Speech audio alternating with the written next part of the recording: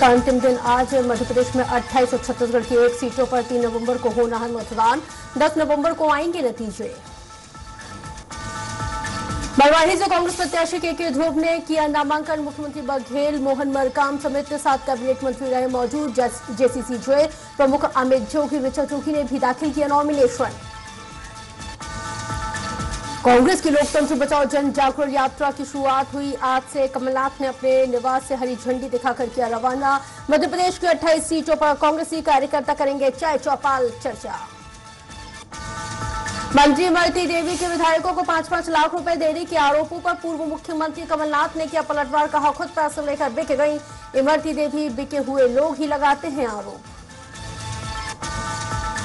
जारी है शिवराज सिंह चौहान का दौरा। आज दतिया मुरैना में करेंगे जनसभा को संबोधित। प्रत्याशियों के लिए मांगेंगे समर्थन।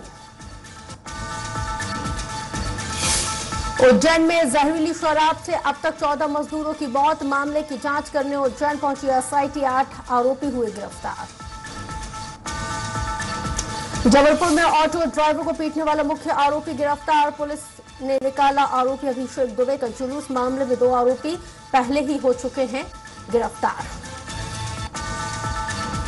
एमपी में कोरोना की रफ्तार हुई। धीमी संदिग्ध मरीजों की रिपोर्ट। अस्सी से नब्बे फ़ीसदी आ रही निगेटिव। आईसीयू और ऑक्सीजन वाले बेड सत्तर प्रतिशत हैं खाली।